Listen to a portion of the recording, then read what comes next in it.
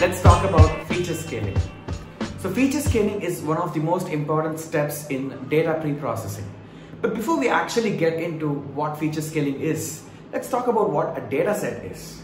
So a data set is nothing but a collection of rows and columns where each row represents a unique item or an entity and all the columns represent the attributes or features of the rows.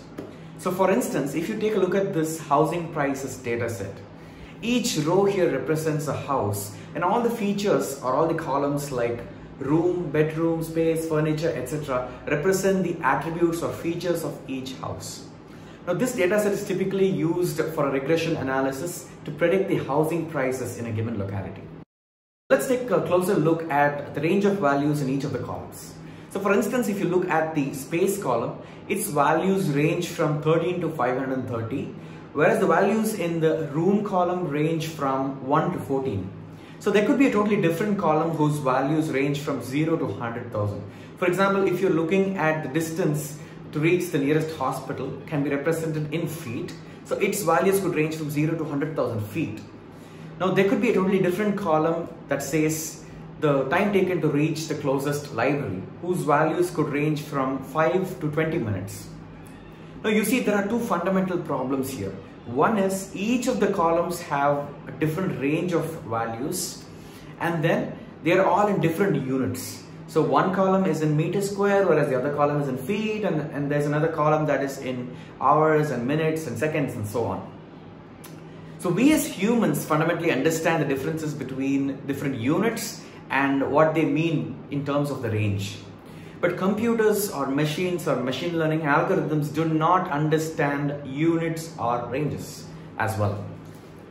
So if you actually take this data set as it is and pass it on to your machine learning algorithm, what it's going to do is it's going to consider the column with the largest range or the largest variance as the strongest feature and it's going to bias your model and render your model inaccurate. So in order to fix that, you need to bring all your features into a standard range of values so that your model does not bias any particular feature as the strongest one and gives equal importance to all the features. This is what feature scaling is all about. That is to bring down all your features to a standard range so that your model treats all of the features equally.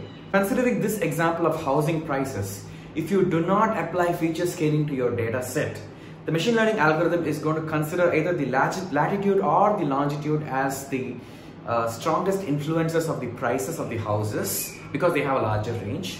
But in reality, it could be the number of rooms that influence the housing prices uh, uh, in that locality. There are a bunch of feature scaling techniques available out there, but here's an example of one of those feature scaling techniques called normalization, where you basically crunch your range between 0 and 1.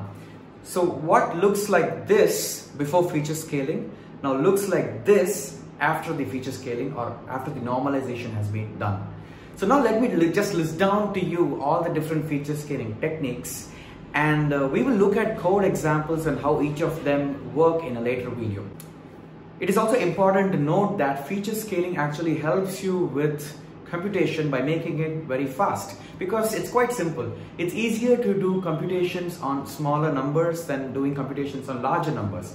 So especially if you're considering uh, of using neural networks, then make it a point to feature scale your dataset so that your computations are very fast. So that brings me to the end of this video on feature scaling. Um, more videos to come later on. And if you like this video, give it a like and subscribe to my channel. Thank you.